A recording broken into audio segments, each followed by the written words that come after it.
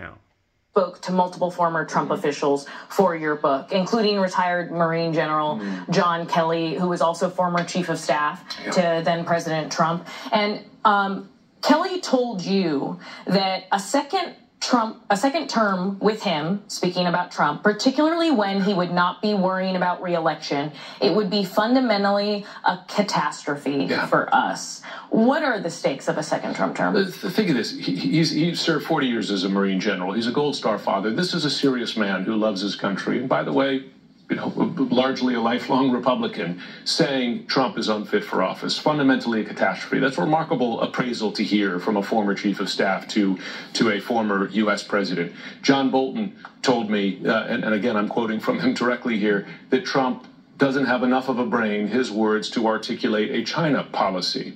Uh, you couple that with Vice President, former Vice President Pence saying today he cannot in good conscience endorse him. These are people who worked with him for four years, advised him at the highest levels, were in the room with him as he was making consequential decisions about this country, and they judged that decision making and his priorities to be fundamentally problematic for this country.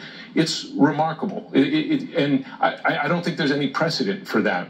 So when you know those appraisals are not coming from journalists, they're not coming from folks on the left or the Democratic Party or RINOs or whatever. They're coming from folks who served in the Trump administration, and and we should we should take pause. We should take pause. John Kelly, by the way, also described to me multiple instances where Trump expressed praise for for Adolf Hitler, uh, which is uh, just a remarkable thing to be discussing in the 21st century. Right, praised Adolf Hitler, praised a number of other dictators. Putin, Kim, Xi Jinping, you name mm-hmm. it. I do want to get to the number of developments that we saw this week.